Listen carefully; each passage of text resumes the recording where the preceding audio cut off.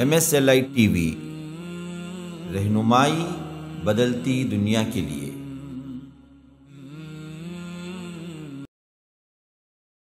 السلام علیکم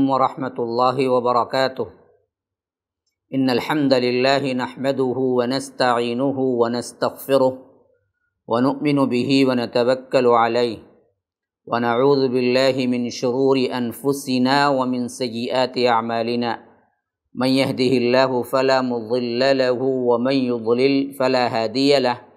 وأشهد أن لا إله إلا الله وحده لا شريك له. وأشهد أن محمدا عبده ورسوله أما بعد. فإن خير الحديث كتاب الله وخير الهدي هدي محمد صلى الله عليه وسلم وشر الأمور محدثاتها وكل محدثة بدعة وكل بدعة ضلالة وفي رواية وكل ضلالة في النار. فأعوذ بالله السميع العليم من الشيطان الرجيم من همزه ونفثه ونفخه. استغفر لهم أو لا تستغفر لهم إن تستغفر لهم سبعين مرة فلن يغفر الله لهم. ذلك بأنهم كفروا بالله ورسوله. والله لا يهدي القوم الفاسقين. فرح المخلفون بمقعدهم خلاف رسول الله وكرهوا أن يجاهدوا بأموالهم وأنفسهم وكرهوا أن يجاهدوا بأموالهم وأنفسهم في سبيل الله وقالوا وقالوا لا تنفروا في الحر قل نار جهنم أشد حرا لو كانوا يفقهون. فليضحكوا قليلا وليبكوا كثيرا جزاء بما كانوا يكسبون. فإن رجعك الله إلى طائفة منهم فاستأذنوك للخروج فقل لن تخرجوا فاستأذنوك للخروج فقل لن تخرجوا معي أبدا ولن تقاتلوا معي عدوا. إنكم رضيتم بالقعود أول مرة فاقعدوا مع الخالفين. ولا تصل على أحد منهم مات أبدا ولا تقم على قبره. إنهم كفروا بالله ورسوله وماتوا وهم فاسقون.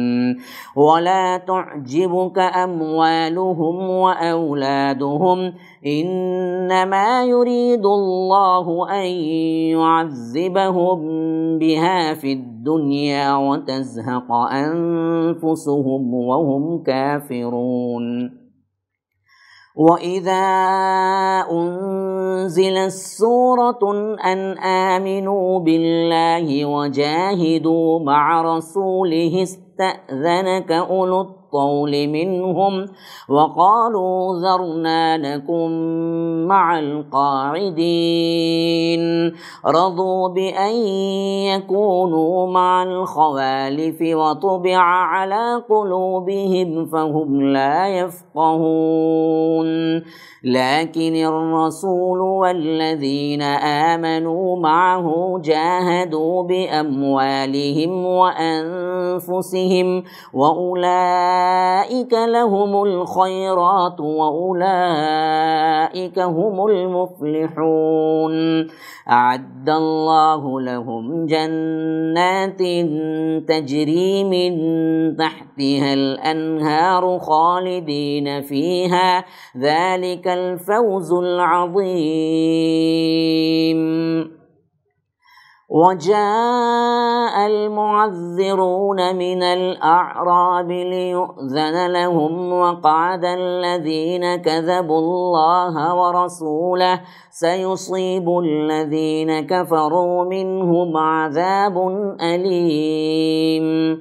ليس على الضعفاء ولا على المرضى ولا على الذين لا يجدون ما ينفقون حرج إذا نصحوا لله ورسوله. ما على المحسنين من سبيل. والله غفور رحيم. ولا على الذين إذا ما أتوك لت تحملهم قلت لا أجد ما أحملكم عليه تولوا وأعينهم تفيض من الدمع حزنا ألا يجدوا ما ينفقون. إنما السبيل على الذين يستأذنونك وهم أغنياء. رضوا بأن يكونوا مع الخوالف وطبع الله على قلوبهم فهم لا يعلمون. يعتذرون إليكم إذا رجعتم إليهم قل لا تعتذروا لن نؤمن لكم قد نبأنا الله من أخباركم وسيرى الله عملكم ورسوله ثم تردون إلى عالم الغيب والشهادة ثم تردون إلى عالم الغيب والشهادة فينبئكم بما كنتم تعملون. سيحلفون بالله لكم إذا انقلبتم إليهم لتعرضوا عنهم فأعرضوا عنهم إنهم رجس ومأواهم جهنم جزاء بما كانوا يكسبون. يحلفون لكم لترضوا عنهم فإن ترضوا عنهم فإن الله لا يرضى عن القوم الفاسقين. الأعراب أشد كفرا ونفاقا وأجدر ألا يعلموا حدود ما أنزل الله على رسوله. والله عليم حكيم. ومن الأعراب من يتخذ ما ينفق مغرما ويتربص بكم الدوائر عليهم دائرة السوء والله سميع عليم.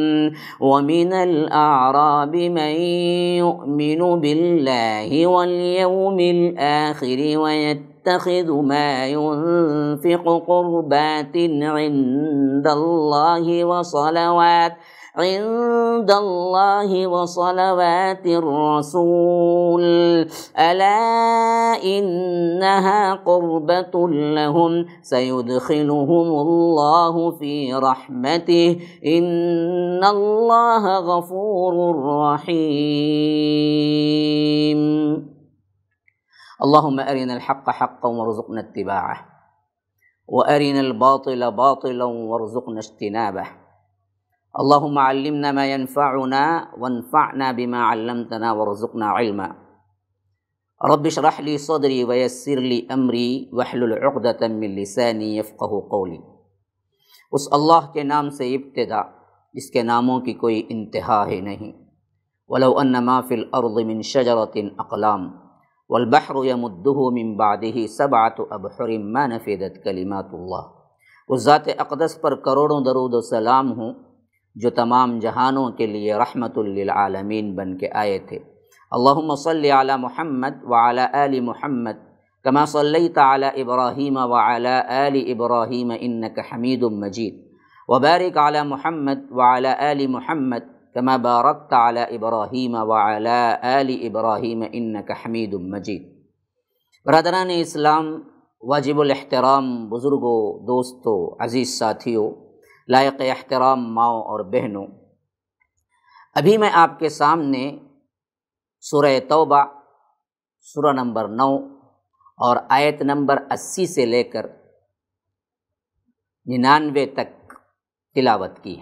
تقریباً بیس آیات۔ اللہ تبارک و تعالیٰ کے فضل و کرم سے دور ترجمہ قرآن کا جو سلسلہ آپ لوگوں کے سامنے M S L life T V پر آ رہا تھا، کچھ مدت بعد اس کو میں نے ایک نئے انداز سے شروع کیا ہے، جس میں میں نے ان مختص آیات کی تلاوت شروع میں رکھ دی جو ترجمے میں پیش کیے جائیں گے۔ اللہ تبارک و تعالیٰ کے فضل و کرم سے آج ہم انشاءاللہ اللہ کوشش کریں گے کہ بیس آیات کی جو تلاوت ہوئی، اس کا ترجمہ مع حواشی کے مع مختصر ترین تشریح کے مکمل کریں۔ اللہ تبارک و تعالیٰ فرماتا ہے کہ استغفر لہم اولا تستغفر لہم۔ ان کے لیے آپ استغفار کریں یا نہ کریں، دونوں برابر ہیں۔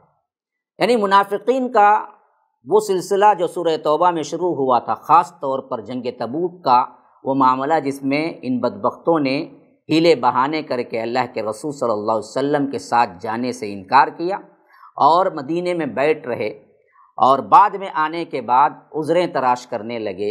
اللہ تبارک و تعالیٰ ان کے کردار کو کھول کر مسلمانوں پر بیان کر رہا ہے۔ جس میں یہ بات آ رہی ہے کہ اللہ کے رسول صلی اللہ علیہ وسلم اگر یہ آپ کے پاس آ بھی جائیں جیسا کہ ہم پہلے پڑھ چکے ہیں اف اللہ عن کہ اللہ تمہیں معاف کرے لم اذن تلہم آپ نے کیوں اجازت دے دی؟ تو اب فرمایا جا رہا ہے کہ آپ ان کے لیے استغفار کریں یا نہ کریں۔ ان تستغفر لہم سبعین مرتن فلن یغفر اللہ لہم اگر آپ ان کے لیے ستر مرتبہ استغفار کریں، پھر بھی اللہ تبارک و تعالیٰ انہیں معاف نہ کرے گا۔ اور یہاں پر یہ نوٹ کرنے کے قابل ہے کہ یہاں پر عدد ستر نہیں لایا گیا ہے۔ بلکہ مفسرین کہتے ہیں کہ یہ زیادہ کثرت کے لیے استعمال ہوتا ہے عربی میں، محاورتاً۔ یعنی معنی یہ ہوگا کہ آپ ستر نہیں، ستر سے زائد بھی کتنی مرتبہ بھی آپ کر لیں، لیکن ان بدبختوں کو اللہ تبارک و تعالیٰ معاف نہیں کرے گا، جو باوجود وسعت کے اللہ تبارک و تعالیٰ کے مال و دولت کے عطا کرنے کے باوجود بھی آپ کے ساتھ جہاد میں شریک نہیں ہوئے اور جھوٹے طور پر ہیلے بہانے کر کے بیٹھ رہے۔ ذالک بھی انہم کفرو باللہ و رسول یہ اس وجہ سے ہے کہ انہوں نے اللہ اور اس کے رسول کے ساتھ کفر کیا۔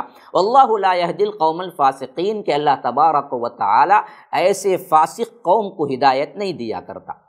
فرمایا کہ فرح المخلفون بمقعدہم خلاف رسول اللہ و کریہو ان یجاہدو باموالہم و انفسہم فی سبیل اللہ و قالو لا تنفروا فی الحق۔ پھیچے رہ جانے والے لوگ جو رسول اللہ صلی اللہ علیہ وسلم کے جانے کے بعد اپنے بیٹھے رہنے پر خوش ہو رہے ہیں ہاں؟ خوشیاں منا رہے ہیں۔ انہوں نے اللہ کے راہ میں اپنی جان، اپنی مال، اپنے مال سے جہاد کرنا پسند رکھا ہی نہیں۔ اور انہوں نے کہہ دیا کہ اس گرمی میں مت نکلو۔ تو کہہ دیجیے، دوزخ کی آگ بہت ہی سخت گرم ہے، کاش کے وہ سمجھتے۔ یہاں پر شدید ترین ان لوگوں پر جواب دیا گیا ہے، نکیر کی گئی ہے کہ فریح المخلفون بمقعدہم جو لوگ پیچھے رہ گئے تھے، جو بیٹھ رہے اللہ کے رسول صلی اللہ علیہ وسلم کے مدینے سے نکلنے کے باوجود تبوک میں، یہ لوگ خوشی میں ہیں، اس واسطے خوشی میں ہیں کہ خلاف رسول اللہ اللہ کے رسول صلی اللہ علیہ وسلم کے خلاف یہ بیٹھ رہنے پر راضی رہے۔ اور کراہت کی ان لوگوں نے ایجاہدو بھی اموالہم و انفسہم، اپنی جانوں اور اپنی مالوں سے فی سبیل اللہ اللہ کے راہ میں جہاد کرنے سے یہ راز کیا، کراہت کی۔ اور جو جانے والے بعض ایسے کمزور مسلمان تھے جن کے ایمان پر ان کے جملے اثر کر سکتے تھے، تو ان بدبختوں نے کیا کیا؟ وہ کام بھی کیا۔ اور اچھے صحابہ، جو مخلص صحابہ جا رہے تھے، ان سے بھی کہنے لگے لاتن فرو فلحر ارے رے رے اتنی گرمی میں مت نکلو۔ یہ تو ایسی گرمی ہے کہ ایسی گرمی میں آپ نکلیں گے تو پھر تو کیا ہے؟ جان کو خطرہ ہے، آپ کے مال کو خطرہ ہے۔ تو اللہ تبارک و تعالیٰ ایسے بدبخ لوگوں کو جواب دیتا ہے، قل آپ کہہ دیجیے، نارو جہنم اشد حرا، جہنم کی آگ اس سے زیادہ کیا ہے، گرم ہے۔ کیا تم اس کو قبول کرنا چاہتے ہو؟ اس دنیا کے گرمی سے تو بچ جاؤ گے، لیکن کل جہنم کی آگ سے نہیں بچ سکو گے۔ لو کانو یا فہون کے کاش کے یہ لوگ سمجھتے۔ فلیب حقو قلیلم ولیبکو کثیرہ جزا ام بیما کانو یکسبون فرمایا کہ پس انہیں چاہیے کہ بہت کم ہنسیں اور بہت زیادہ روئیں، بدلے میں اس کے جو یہ کرتے تھے۔ یعنی فرمایا کہ اصل میں تو ان لوگوں کا حال یہ ہونا چاہیے کہ یہ کم روئیں۔ فلیب حقو قلیلاً ولیبکو کثیرن اور بہت زیادہ روئیں اور بہت کم ہنسیں۔ کیونکہ ان لوگوں نے جو برے اعمال کیے ہیں وہ ان کو معلوم ہو جائے گا بہت جلد جب یہ لوگ اس دنیا میں آنکھ بند ہوگی اور اس دنیا میں آنکھ کھلے گی، تو جو کچھ اللہ اور اس کے رسول کے خلاف یہ لوگ تدبیریں کرتے رہے اور اسلام اور مسلمانوں کے خلاف ریشہ دوانیاں کرتے رہے، اللہ تبارک و تعالی اس کا جو کچھ بھی انہیں عذاب رکھا ہے، اس وقت انہیں معلوم ہو جائے گا کہ اصل تو ان کرتوتوں پر انہیں سب سے زیادہ رونا چاہیے تھا، جس پر یہ لوگ ہنستے رہے تو رب العالمین فرماتا ہے کہ اصل میں تو یہ لوگ ہنسنا کم چاہیے رونا زیادہ چاہیے، ان کے اعمال ایسے ہیں۔ تو برے اعمال کرنے والے خواہ وہ کوئی بھی ہوں، ان لوگوں کے لیے یہاں نصیحت ہے کہ دیکھو اپنی دنیا کی زندگی، اپنے دنیا کے آسائشیں، اپنی دنیا کی کیا ہیں، وہ چیزیں جو دولت اور مال اللہ نے عطا کر دیا ہے۔ اس ظلم میں اور اس طرح کے باطل خیالات میں نہ رہیں کہ ہم نے اللہ تبارک و تعالیٰ کے ساتھ پتہ نہیں کیا کیا، لیکن اللہ نے تو ہمارے ساتھ بہت اچھا کیا۔ بعض لوگ بولتے ہیں کہ پتہ نہیں کون سی نہیں کی اللہ کو پسند نہ گئی، اللہ نے ہمیں بہت دیا ہے، لیکن کرتوت کیا ہیں؟ سود کھاتے ہیں۔ کرتوت کیا ہیں؟ راتوں میں برائیاں کرتے ہیں، زنا کرتے ہیں، فحاشی کرتے ہیں، ڈانس کرتے ہیں اور سمجھتے ہیں کہ اللہ کی بڑی رحمت ہے۔ تبھی تو کیا ہے؟ دنیا کی دولت ملی۔ نہ نہ نہ، اللہ کہتا ہے کہ اصل میں تو یہ حال فاسقوں کا ہے۔ یہ دراصل بدلہ ہے ان بدبختوں کا جو کتراتے ہیں۔ تو اصل میں ان کو معلوم ہونا چاہیے کہ یہ ہنسیں بہت کم اور روئیں بہت زیادہ تاکہ کیا ہیں؟ کل قیامت کے دن ان کے ساتھ بہت ہی برا انجام ہونے والا ہے۔ پھر فرمایا کہ فعر رجا اللہ الا طائفت منہم فاستأذنوک للخروج فقل تخرجوا معي ابدا ولن تقاتلوا معي عدوا انکم رضیتم بالقعود اول مرت فقعدوا مع الخالفین کہ اللہ تبارک و تعالیٰ فرماتا ہے کہ بس اگر اللہ تعالیٰ آپ کو ان کی کسی جماعت کی طرف لوٹا کر واپس لے آئے، پھر یہ آپ سے میدان جنگ میں نکلنے کی اجازت طلب کریں گے۔ تو آپ کہہ دیجیے تم میرے ساتھ ہرگز نہیں چل سکتے، نہ میرے ساتھ تم دشمنوں سے لڑائی کر سکتے ہو۔ تم نے پہلی مرتبہ ہی بیٹھ رہنے کو ترجیح دی، بس تم پیچھے رہ جانے والوں ہی میں بیٹھے رہو۔ یعنی یہ معاملہ بھی اصل میں کیا ہے؟ ان منافقین کا ہی ذکر ہو رہا ہے۔ کہ فرمایا کہ فعر رجاک اللہ طائفت منہم فستنو الخروج اللہ کے رسول صلی اللہ علیہ وسلم، جب آپ پلٹ کر آئیں گے اور ان میں سے کسی جماعت کی طرف ملاقات ہوگی تو وہ لوگ اجازت طلب کریں گے فسط زنو کل خروج جہاد کے لیے اب تو ہم آنے والے ہیں۔ یعنی ایک تو تبوک کے لیے نہیں نکلے، لیکن دوسرے جو چھوٹے موٹے تنظیم، چھوٹے موٹے کیا ہیں، لشکر ہوں گے، جس میں مال غنیمت زیادہ ملنے کی توقع ہوگی، تو وہاں پر یہ لوگ آ کے کہیں گے کہ اللہ کے رسول صلی اللہ علیہ وسلم ہم بھی ساتھ جانے کو تیار ہیں۔ لیکن ایسے بدبختوں کو آپ ہمیشہ کے لیے نامراد کر دیجیے فرمایا کہ فق الن تقرجو معی ابدن ولن تو قاتل ادوا کہ دیکھو، تم نے ہمارے ساتھ اب کبھی نہیں نکلنا ہے۔ اور کبھی تم ہمارے ساتھ قتال کے لیے نکلنا نہیں ہے، نہ ہمارے دشمنوں کے مقابلے میں تم کو کبھی قتال کرنا پڑے گا۔ کیوں؟ ان نقم رضی تم بالقعود۔ تم نے پہلی مرتبہ ہی بیٹھ رہنے کو ترجیح دی۔ اول مرہ فقعدو مع الخالفین کہ اب بیٹھ رہنے والوں کے ساتھ تم بیٹھے رہو۔ پہلی مرتبہ اگر تم آتے تو تم سچے تھے، لیکن اب جب آ رہے ہو تو یہ دنیاوی مفاد کی خاطر آ رہے ہو۔ تو اب دراصل کبھی بھی میرے ساتھ نہ آؤ، نہ ہمارے ساتھ جہاد کرو۔ یہ ان سے صاف کہہ دینا چاہیے ایسے بدبخت منافقین سے۔ آگے فرما رہا ہے کہ ولا تو صلی اعلیٰ احدم منہم مات ابدن ولا تقم اعلیٰ قبری انہم کفروا باللہ و رسول ہی وما تو وہم فاسقون۔ ان میں سے کوئی مر جائے تو اللہ کے رسول صلی اللہ علیہ وسلم اس کے جنازے کی نماز ہرگز نہ پڑھے، نہ اس کے قبر پر کھڑے ہوں۔ یہ اللہ اور اس کے رسول کے منکر ہیں اور مرتے دم تک بدکار اور اطاعت سے باہر رہے، فاسق رہے۔ یہ دراصل اس وقت نازل ہوئی جب خاص طور پر عبداللہ ابن ابئی کی وفات پر اللہ کے رسول صلی اللہ علیہ وسلم نماز جنازہ پڑھانا چاہا۔ حضرت عمر جیسی شخصیت نے کہا کہ اللہ کے رسول آپ اس منافق کا نماز جنازہ پڑھائیں گے۔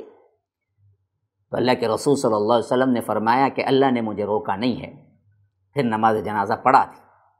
تو اللہ تبارک و تعالیٰ نے آیت کریمہ نازل اور فرمایا کہ ولا تسلی اعلیٰ احدم ان میں سے کوئی مر جائے، عموم عام ہے کہ ان منافقین سے، ان پیچھے رہ جانے والے جن کا ذکر ان آیتوں میں ہو رہا ہے، ان میں سے کوئی بھی مر جائے تو آپ ان کی نماز جنازہ بھی مت پڑھائیے، نہ وہاں پر ان کے قبر پر کھڑے ہوئیے، بلکہ ان کو بغیر کافر اور مشرق جیسے دفنائے جاتے ہیں، ویسے ہی ان کو دفنا دینا چاہیے۔ کیوں؟ ان نہ کفر و بلّہ و رسول انہوں نے اللہ اور اس کے رسول کے ساتھ کفر کیا۔ کہاں تک؟ وما تو فاسقون۔ مرتے دم تک اسی حالت میں رہے اور فاسق بن کر مرے۔ اور آگے فرمایا، ولا تعجب کا اموال و اولاد انما یرید اللہ ایعذبہم بہا فی الدنیا و تزہق انفسہم وہم کافرون آپ کو ان کے مال اور اولاد پر کچھ بھی تعجب نہیں کرنا چاہیے۔ یعنی ان کے مال، ان کی اولاد آپ کو تعجب میں نہ ڈال دیں۔ ان کے مال کی کثرت، ان کے اولاد کی طاقت، یہ چیزیں آپ کو ایسے نہ ہونا چاہیے کہ آپ اس میں ان لوگوں کو بھلے لگنے لگے۔ اور یہ دراصل کے لوگ ان مال و دولت کے ساتھ سمجھیں کہ اللہ نے ان پر کرم کیا ہے۔ نہ، آپ کو ان کے مال و دولت سے کچھ بھی بھلے نہ لگیں۔ کیونکہ اللہ کی چاہت یہی ہے۔ کہ ان مال و دولت کے ذریعے اللہ تبارک و تعالیٰ انہیں دنیا میں عذاب ان نما یرید اللہ ادبہم بہا فی دنیا یا بہا کی ضمیر جو ہے نا، وہ مال و دولت کی طرف لوٹتی ہے۔ یعنی اللہ نے جو مال و دولت دیا ہے، جس مال و دولت کو بعض ایمان والے بھی کبھی کبھی سمجھتے ہیں کہ کافر کو فلاں معاملہ ہے، اتنے اتنے بڑے بلڈنگس ہیں، اتنے مالس ہیں، اتنی بڑی تجارت ہے، فلاں ہے تو اللہ تبارک و تعالیٰ فرماتا ہے کہ اللہ کے رسول انہیں تعجب سے نہ دیکھیں، کیونکہ یہ مال و دولت اللہ نے جب دیا ہے اور ایمان نہیں دیا ہے، نفاق دیا ہے، کفر دیا ہے، تو اصل میں یہ مال و دولت ان کے لیے عذاب ہے۔ اس لیے فرمایا کہ انما یرید اللہ عذبہم اللہ تبارک و تعالیٰ چاہتا ہے کہ انہیں عذاب دے۔ بہا اس مال و دولت کے ذریعے پھر دنیا دنیا کے اندر۔ وہ تزہ کا انفس ہم کافرون۔ اور انہیں سانس سے نکلنے تک اسی حالت میں رہیں جو پہ وہ کفر کرتے ہیں۔ یعنی کافر ہی بن کر مریں، سانس نکلنے تک وہ کافر ہی رہیں۔ اللہ یہی چاہتا ہے کہ مال و دولت کے غرور میں وہ کبھی ایمان کی طرف پلٹ کر نہ آئیں اور اس حالت میں مریں کہ وہ کافر ہو کر مرے پہلے آیا، وما تو وہ ہم فاسقون۔ فاسق ہو کر مرے۔ وہاں تک وہ ان کی زندگی دوڑتی رہے، یہی حالت یہاں فرما رہا ہے کہ ان مال و دولت کو جو منافقین کے پاس ہے کبھی ہمارے بھی جو دشمنان اسلام ہیں آج کے، ان کو دیکھتے ہوئے ایک کمزور ایمان والا یہ سمجھتا ہے کہ اتنی دولت، اتنا بڑا رتبہ، اتنا بڑا عہدہ، یہ تو دراصل ایسا ہی لگتا ہے کہ اللہ ان سے راضی ہے۔ نا نا مال و دولت کا عطا ہونا یہ اللہ کے رضا کی سرٹیفکیٹ نہیں ہے، بلکہ اللہ نے کسی کو نفاق پر کسی کو ایمان کے مقابلے میں کفر پر، کسی کے اسلام دشمنی پر دولت بڑھا کر، چڑھا کر دے رہا ہے تو یاد رکھو یہ بات مسلمانوں اچھی طرح اللہ کا فرمان جو توبہ میں اللہ تبارک و تعالیٰ یہ آیت نمبر پہ فرما رہا ہے، انما یرید اللہ عذبہم یہ مال و دولت اصل میں عطا کر کے اللہ انہیں عذاب دینا چاہتا ہے بحاف دنیا اس مال و دولت کے ذریعے اس دنیا میں وہ عذاب ہے ان کے واسطے وہ تزحق انفسہم، کیونکہ اس مال و دولت میں وہ پڑے رہیں، مغرور ہوتے رہیں، کبھی توبے کی نہ سوچیں، کبھی اپنے اوپر کیا سنجیدہ غور نہ کریں، یہاں تک کہ ان کی روح اس حالت میں نکلے جبکہ وہ کافر ہو۔ اللہ اکبر، اللہ کی پناہ ایسے مال و دولت سے۔ فرمایا کہ وَإِذَا أُنزِلَتْ سُورَةٌ أَنْ آمِنُوا بِاللَّهِ وَجَاهِدُوا مَعَ رَسُولِهِ اسْتَأْذَنَكَ أُولُو الطَّوْلِ مِنْهُمْ وَقَالُوا ذَرْنَا نَكُمْ مَعَ الْقَاعِدِينَ۔ جب کوئی صورت اتاری جاتی ہے، اللہ پر ایمان لاؤ، اس کے رسول کے ساتھ مل کر جہاد کرو، تو ان میں سے دولت مندوں کا ایک طبقہ آپ کے پاس آ کر یہ کہہ کر رخصت لے لیتا ہے کہ ہمیں تو بیٹھے رہنے والوں ہی میں چھوڑ دیجیے یہ بھی انہیں منافقین کے بارے میں جن کی بات چلی آ رہی ہے۔ فریح المخلفون سے کہ یہ خوش ہیں، پیچھے رہ جانے والے۔ انہی کی ایک صفت یہ بھی بیان ہوئی ہے کہ جب اللہ تبارک و تعالیٰ کوئی صورت اتارتا ہے اور صورت کے اندر مضمون کیا ہوتا ہے؟ ان آمینو باللہ، لوگو اللہ پر ایمان لاؤ وجاہدو جہاد کرو مع رسول رسول کے ساتھ مل کر تو استعدن کا الطول منہم اللہ کے رسول، آپ کے پاس آ کر وہ طبقہ جن کو اللہ نے مال دیا ہے۔ الطول کا مطلب یہاں پر کیا ہے؟ مالدار لوگ جو نکل سکتے ہیں، جن کو وسائل اللہ نے دیا ہے۔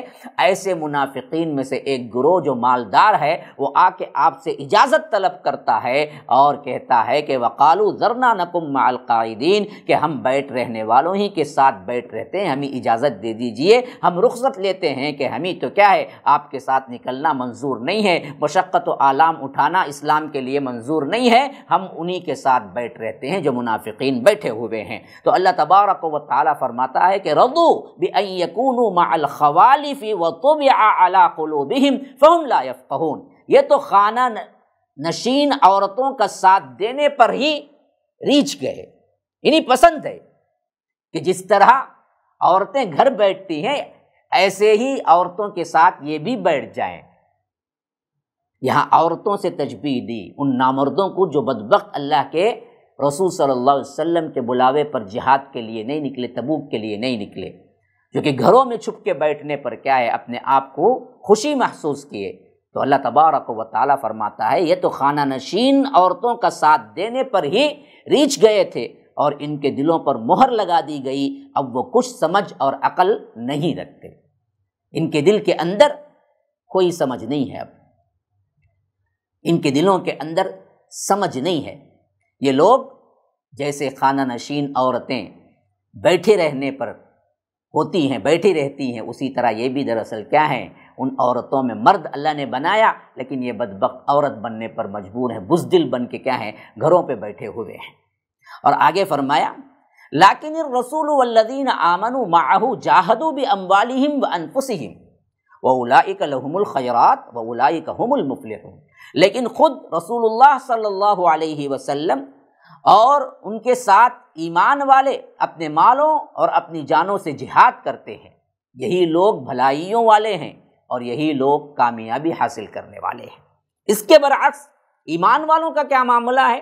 فرمایا کہ لاکن الرسول اس کے برعکس تو یہ معاملہ ہے کہ اللہ کے رسول صلی اللہ علیہ وسلم والذین آمنوا معه اور ان کے ساتھ جو ایمان لائے اور ساتھ میں رہے، ان لوگوں کا سلوک یہ ہے کہ جاہدو بھی اموالہم و انفسہم اپنی جانوں اور اپنے مالوں کے ساتھ انہوں نے جہاد کیا۔ ایسے وہ لوگ ہیں جن کو رب العالمین فرماتا ہے، لہم الخیرات، انہی کے لیے ہیں دنیا و آخرت کی بھلائیاں۔ و اولئک هم المفلحون، یہی وہ لوگ ہیں جو کامیابی حاصل کرنے والے ہیں۔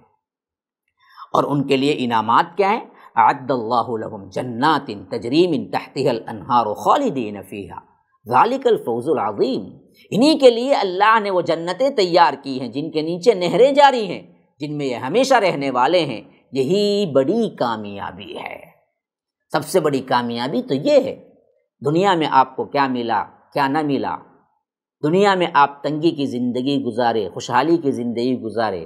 یہ اصل مضمون نہیں ہے مسلمانوں۔ اصل تو یہ ہے کہ تم نے اس دنیاوی زندگی میں آخرت کے لیے کیا تیار کیا۔ اپنی جانوں اور مالوں سے تم نے کتنی جد و جہد کی، کتنا اللہ کی راہ میں خرچ کیا، کتنا تم نے اسلام کے لیے اپنا تن بندھن لگایا، جہاد کیا، یہ دیکھا جائے گا۔ اور اس پر پھر اللہ تبارک و تعالی راضی ہو جائے۔ اور تم نے اس دنیا کے ذریعے آخرت کو خرید لیا اور جنت کے مستحق بن گئے، تو یہی اصل کامیابی ہے۔ ایسے لوگوں کے لیے اللہ کہتا ہے عد اللہ لہم۔ اللہ نے تیار کر کے رکھا ہوا ہے ان کے لیے۔ جنات ان باغات، جنت تو ایک ہے، جنات باغات، بہت سے باغ۔ اور تجریم ان تحتی الانہار، ایسے باغ جن کے نیچے نہریں جاری ہیں۔ ہاں۔ ہم نے تو کیا ہے، ایسے باغات تو دیکھے ہیں جس میں درمیان میں آب پاشی کا انتظام ہے، درمیان میں ندیاں دوڑتی ہیں، لیکن ایسے باغات نہیں دیکھے جن کے نیچے کیا ہے نہریں دوڑتی ہیں۔ یہ اللہ جنت میں انتظام فرمائے گا۔ اور فرمایا کہ خالدی نفیحہ جس میں وہ ہمیشہ رہیں گے۔ تو کامیابی اصل کیا ہے؟ ذالک الفوز العظیم۔ اصل کامیابی یہی کامیابی ہے۔ پھر فرمایا کہ وہ جا المعذرون من العراب لیؤذن لهم وقعد الذین کذب اللہ و رسولہ سیصیب الذین کفروا منہم عذاب علیم بادیہ نشین، گاؤں والے، اجڑ کنوار جو مدینے کے باہر رہتے ہیں، ان میں سے عذر کرنے والے لوگ بھی حاضر ہوئے اور انہیں رخصت بھی دی گئی۔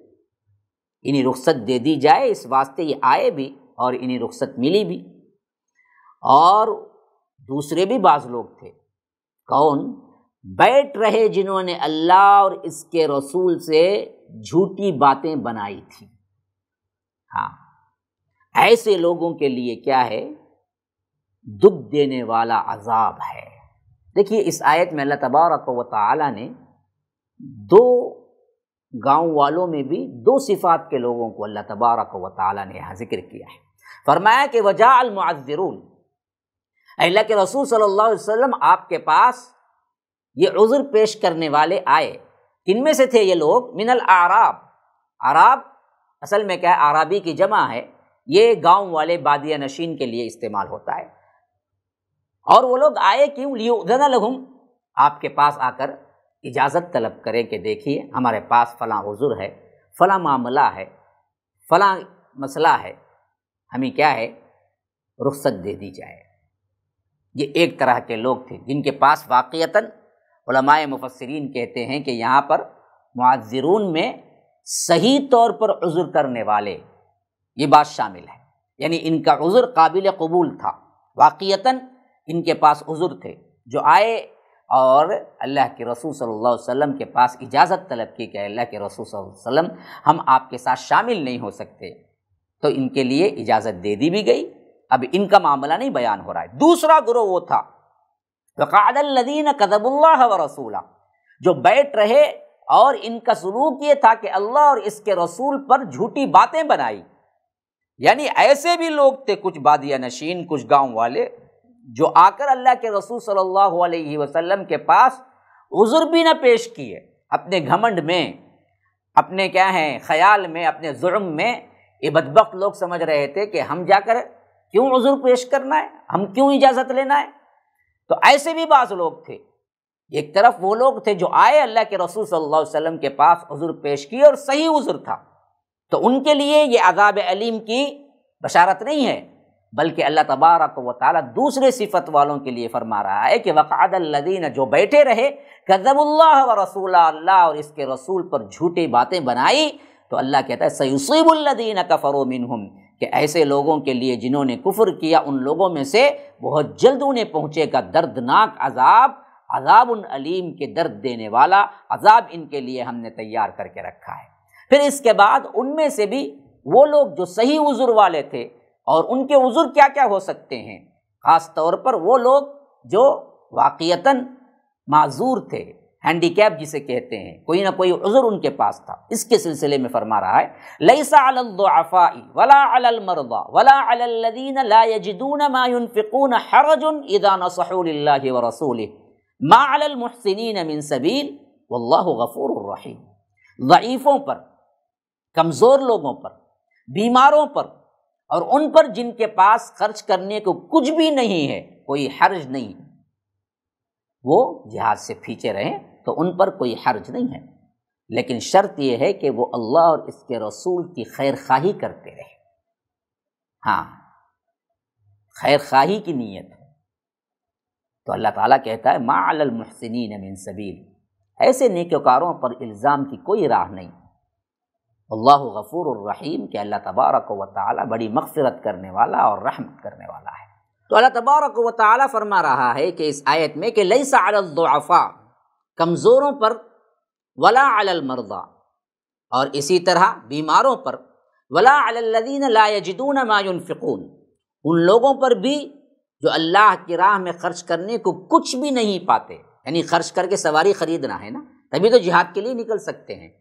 تو ایسے لوگ ہیں جن کے پاس سواری بھی نہیں ہے اور اللہ کے رسول صلی اللہ علیہ وسلم کے پاس بھی ان کے لیے سواری دینے کے لیے کوئی انتظام نہیں ہے۔ تو اللہ تبارک و تعالیٰ فرماتا ہے کہ حرج، وہ لوگ رک جانے سے کوئی حرج نہیں ہے۔ ہاں ادا نصح اللہ و رسولی لیکن وہ لوگ مخلص ہوں اس معاملے میں۔ ہاں مریض کہہ کر اگر وہ ہیلا کرتے ہیں تو اس میں شامل نہیں ہوتے۔ کمزور کہہ کر ہیلا کرتے ہیں۔ تو اس میں شامل نہیں ہوتے۔ اور وہ لوگ جو کہتے تو ہیں کہ ہمارے پاس کچھ نہیں ہے، لیکن اصل میں ان کے پاس بہت کچھ ہے۔ تو یہ دھوکہ دہی کے لیے ایسے لوگ نہیں ہیں، بلکہ اس میں مخلص ہیں۔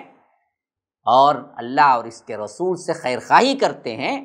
تو اللہ کہتا ہے کہ ہم ظالم نہیں ہیں کہ ان کو بھی عذاب دیں۔ مال المحسنین من سبیل، یہ ایسے محسنین ہیں، ان پر تو کوئی راہ نہیں، الزام کی۔ اللہ غفور الرحیم، کہ اللہ تبارک و تعالی مغفرت کرنے والا اور رحم کرنے والا ہے۔ اور فرمایا کہ ولا الدین اضامہ اتو کل تحمل قلت لا اجد ما احملكم علیہ تولوا واعینهم تفیض من الدمع حزنا الا يجدوا ما ينفقون ہاں ان پر بھی کوئی حرج نہیں۔ جو آپ کے پاس آتے ہیں کہ آپ انہیں سواری مہیا کر دیں، تو آپ جواب دیتے ہیں کہ میں تمہارے لیے سواری کا کچھ بھی انتظام نہیں پاتا۔ تو وہ رنج و غم سے اپنی آنکھوں سے آنسو بہاتے ہوئے لوٹ جاتے ہیں۔ انہیں خرچ کرنے کے لیے کچھ بھی میسر نہیں۔ دیکھیے اور تفصیل آ گئی جو اوپر آیت میں تھوڑا سا ابہام تھا، اس میں کھول دیا گیا۔ وہ کون لوگ ہوتے ہیں؟ فرمایا کہ ولا الدین ادامہ اتو کلی تحمیل ان پر بھی کچھ الزام نہیں ہے جو اللہ کے رسول صلی اللہ علیہ وسلم آپ کے پاس آتے ہیں تاکہ آپ انہیں سواری مہیا کریں۔ کہتے ہیں کہ اللہ کے رسول ہمارے پاس خرچ نہیں ہے، ہمارے پاس کچھ نہیں ہے۔ اور ہمیں آپ اگر سواری مہیا کر دے تو ہماری تو شدید خواہش ہے کہ ہم جہاد میں شریک ہوں۔ تب اللہ کے رسول صلی اللہ علیہ وسلم بھی بعض صحابہ کا معاملہ یہ ہوا کہ اللہ کے رسول صلی اللہ علیہ وسلم نے کہا کہ لا ما احملکم علی میرے پاس بھی انتظام کرنے کے لیے کوئی سواری نہیں ہے۔ کیونکہ یہ تبوک کا جو معاملہ تھا نا، یہ اچانک پیش آیا، اسی لیے اس کا ایک نام ہے جیش العسرہ۔ ہاں جلدی میں تیار ہونے والا جیش، تیزی کے ساتھ تیار ہونے والا۔ اس وقت شدید ترین ایک طرف گرمی تھی، دوسری طرف مال و دولت کی تنگی تھی، اور لشکر جو تھا وہ بڑا تھا، اور مقابل میں جو لشکر تھا وہ ہرقل کا دو لاکھ کا لشکر تھا۔ اور فاصلہ بہت لمبا تھا کہ کوئی پیدل چل کے نہیں جا سکتا تھا۔ ہر ایک کے لیے سواری کی ضرورت پڑتی تھی۔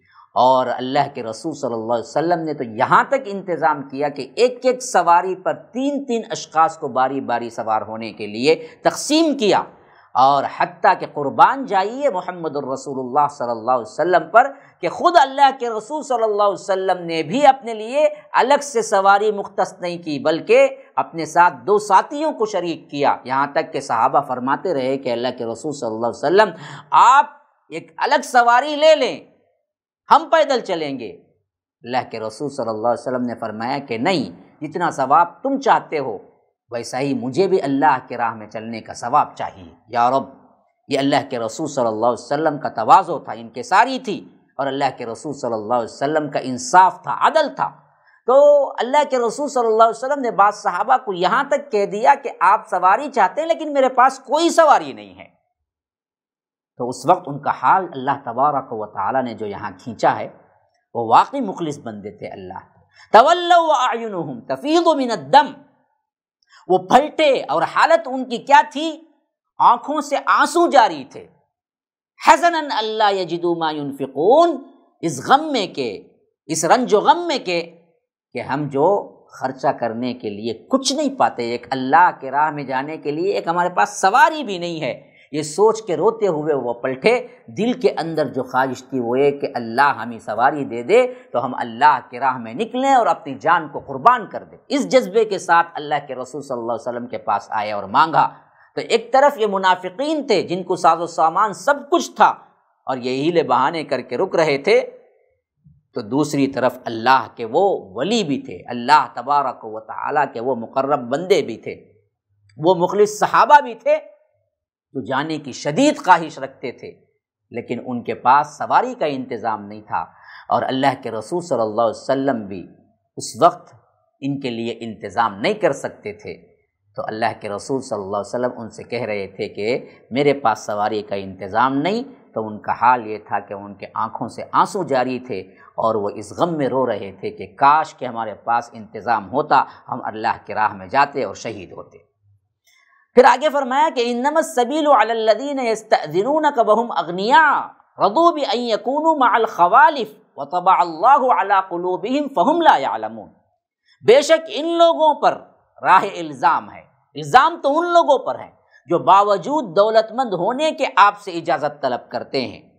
اور خانہ نشین عورتوں کے ساتھ دینے پر خوش ہیں اور ان کے دلوں پر مہر خدا بندی لگ چکی ہے، جس سے وہ محض بے علم ہو گئے ہیں۔ کہ اللہ تبارک و تعالیٰ فرما رہا ہے کہ میں ڈکٹیٹر نہیں ہوں، کہ ہر کوئی خواہ وہ کسی بھی مجبوری میں ہو، میں نے کہا کہ جہاد کے لیے نکلو۔ نہ اسکیوز ہے ان لوگوں کے لیے جو واقعیتاً عذر رکھتے ہیں۔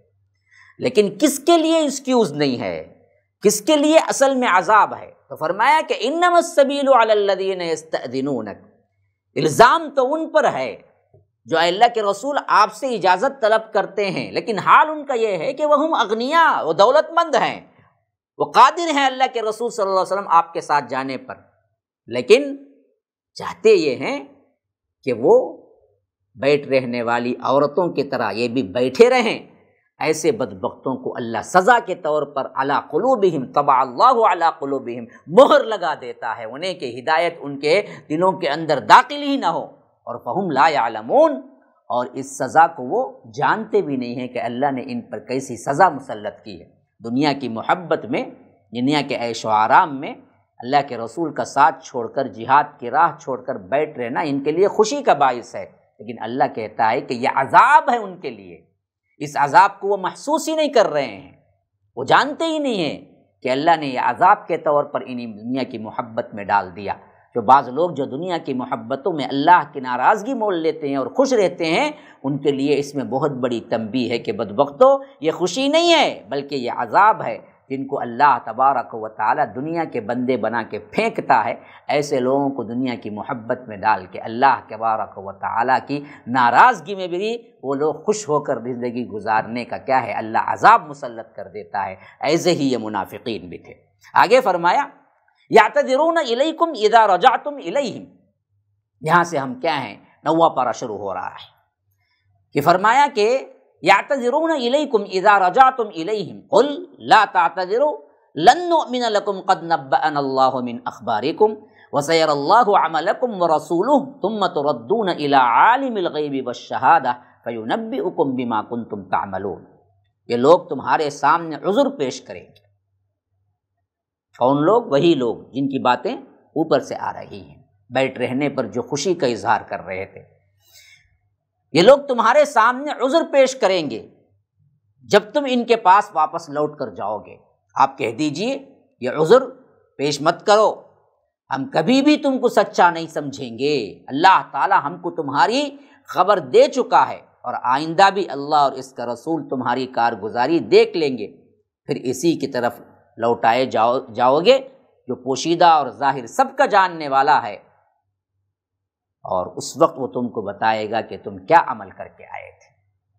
یعنی اللہ تبارک کو تعالیٰ فرما رہا ہے کہ جب غزب تبوک سے لوٹ کر تم آؤ گے، تو یہ لوگ جو بلا وجہ عذریں پیش کر کر کے وہاں پر مدینے کے اندر بیٹھے رہے، تو یہ آ آ کے کیا ہیں؟ اللہ کے رسول صلی اللہ علیہ وسلم سے اسکیوز پوچھیں گے، عذر پیش کریں گے۔ ایسے وقت میں ان کے عذر دیکھ کر تمہارے دلوں کے اندر ان کی نفاق میں شک نہ آنا۔ یہ پکے منافق ہیں، ظاہری طور پر پھر کیا کر رہے ہیں؟ ناٹک کر رہے ہیں۔ اسی لیے فرمایا کہ آپ صاف کہہ دیجیے، لا تعتذرو تم کوئی عذر نہ پیش کرو آج۔ لنو من لکم۔ ہم سچا نہیں جانیں گے تمہیں۔ کیوں؟ قد نبان اللہ من اخبارکم۔ اللہ تبارک و تعالیٰ نے تمہاری خبر سے پہلے ہی مطلع کر دیا، پہلے ہی ہمیں بتا دیا تھا۔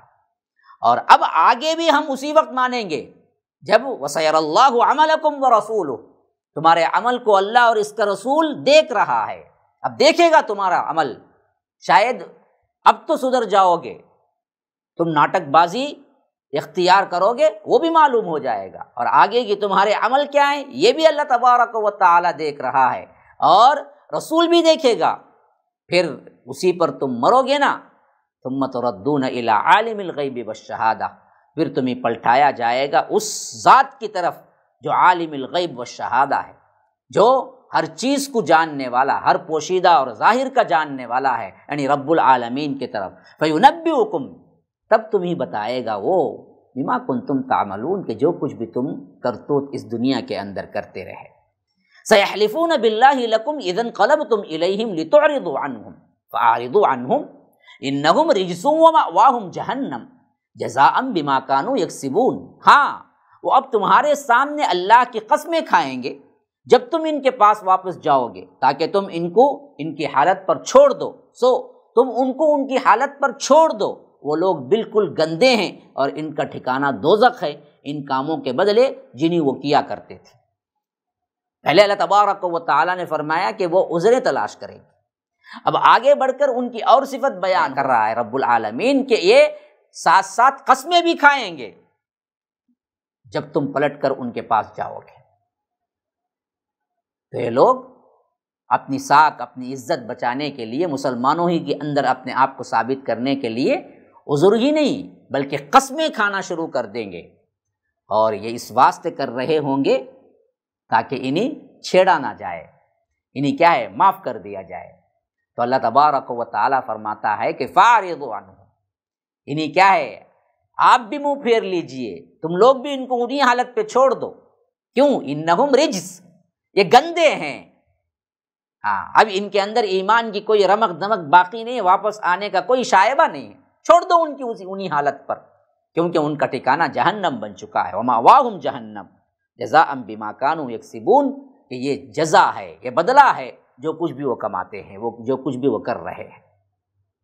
اور آگے فرمایا یہ لفون الکم لترد عنہم فعن ترد عنہم فعن اللہ لا يرضى عن القوم الفاسقین پہلے فرمایا کہ یہ دراصل عذر پیش کریں گے۔ نمبر دو فرمایا، قسمیں کھائیں گے۔ نمبر تین، ان کی حالت اور زیادہ آگے کیا ہوگی؟ یہ حلیفون الکم لترد عنہم۔ یہ اس لیے قسمیں کھائیں گے کہ تم ان سے راضی ہو جاؤ۔ سو اگر تم ان سے راضی بھی ہو جاؤ ان ترد عنہم ان اللہ عن القوم الفاسقین اللہ تعالیٰ تو ایسے فاسق لوگوں سے راضی نہیں ہوا کرتا۔ یعنی یہاں پر ایک بہت اہم ترین بات بتائی جا رہی ہے۔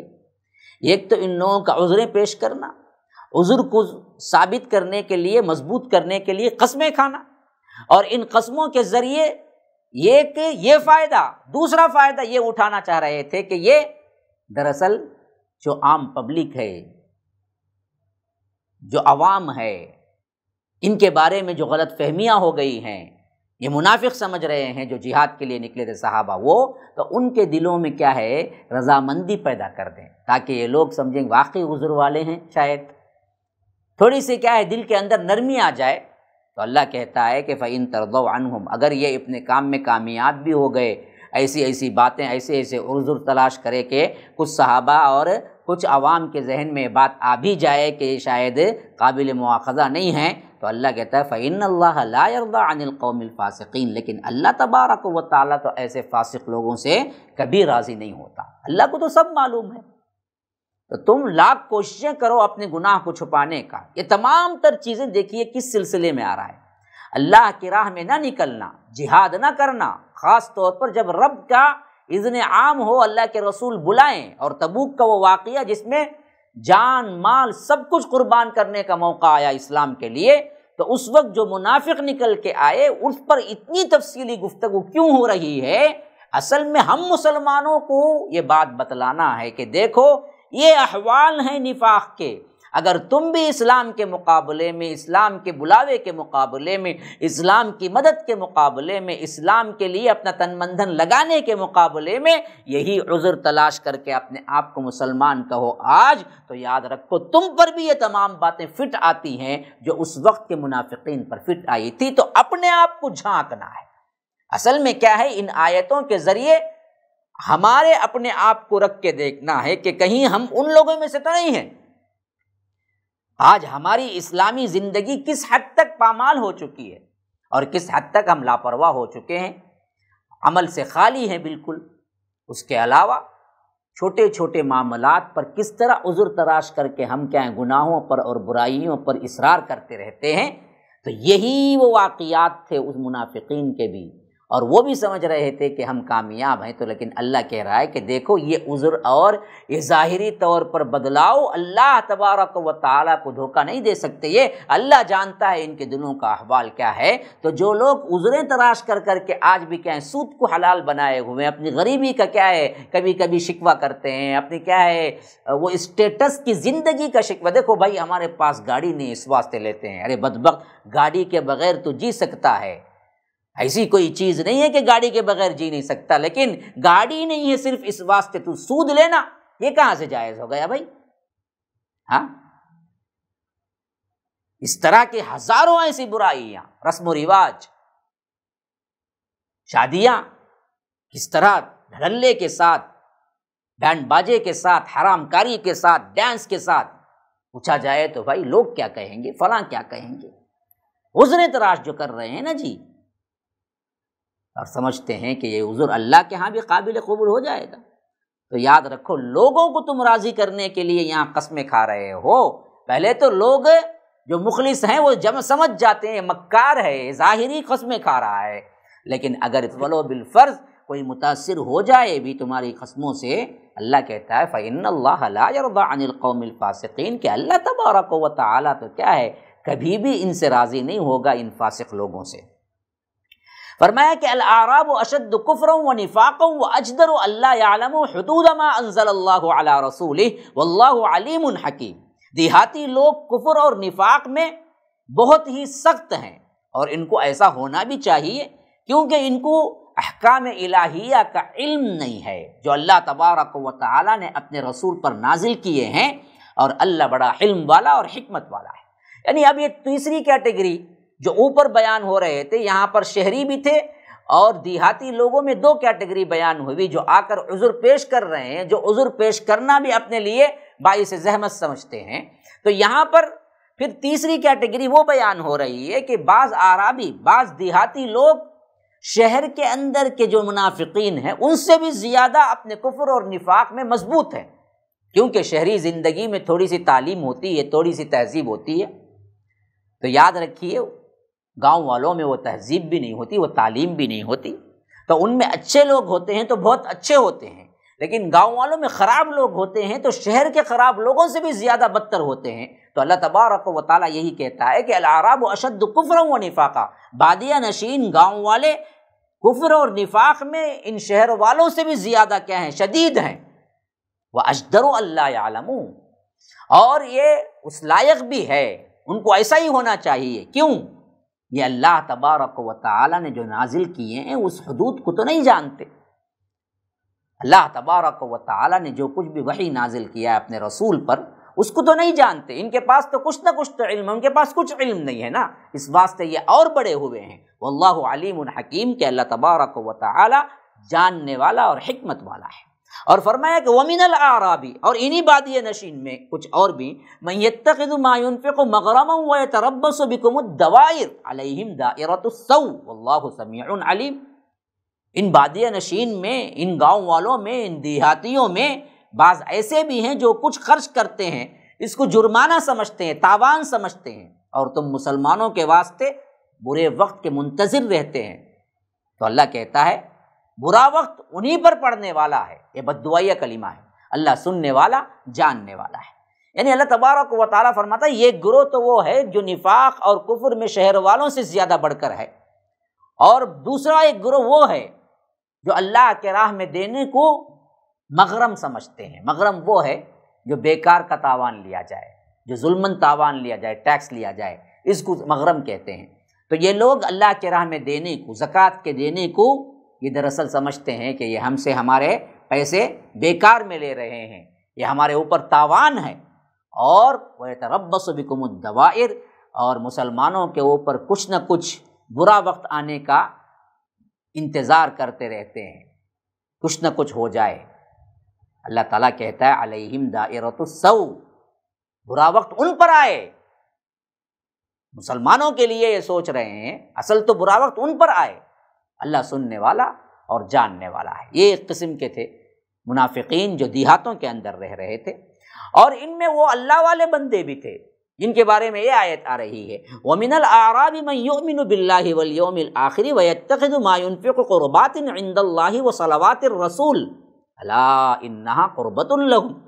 سيدخلهم الله في رحمته ان الله غفور الرحیم بعض دیہاتی، بعض اہل دیہات بعض گاؤں والے ایسے بھی ہیں جو اللہ تعالیٰ پر اور قیامت کے دن پر ایمان رکھتے ہیں اور جو کچھ خرچ کرتے ہیں اس کو اللہ کے نزدیک قرب حاصل کرنے کا ذریعہ سمجھتے ہیں اور اللہ کے رسول صلی اللہ علیہ وسلم کی دعا کا ذریعہ بناتے ہیں۔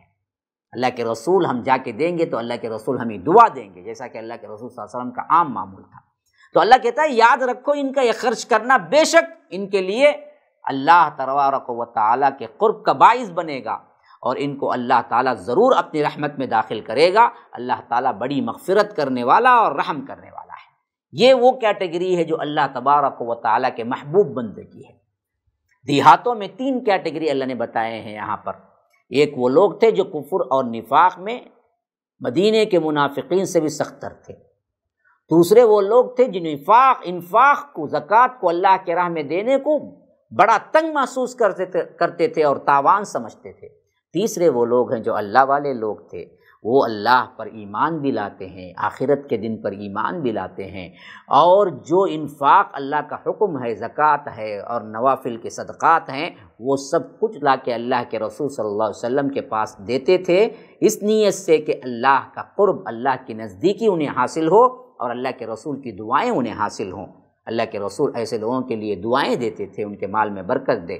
اللہ تبارک و تعالیٰ فرماتا، ایسے نیک بندوں کے لیے واقعتاً اللہ تبارک و تعالیٰ قرب کا سامان کرے گا، نزدیکی کا سامان کرے گا۔ اللہ انہیں اپنے خاص بندوں میں شامل کرے گا۔ سید خلحم اللہ فی رحمتی، اور بہت جلد مرنے کے بعد اللہ انہیں اپنی رحمت میں داخل کرے گا۔ ان اللہ غفور الرحیم کے بے شک وہ غفور بھی ہے، رحیم بھی ہے، مغفرت کرنے والا، رحم کرنے والا بھی ہے۔ آدا باللہ توفیق و صلی اللہ وسلم علی نبینا محمد۔ اسأل اللہ لی ولکم ولسائر المسلمین من کل ذنب فاستغفروه انه هو الغفور الرحیم۔ والسلام علیکم ورحمۃ اللہ وبرکاتہ۔ ناظرین اکرام، ہمارے اس ویڈیو کو لائک کریں اور ہمارے اس چینل کو سبسکرائب کریں۔ جزاکم اللہ خیرہ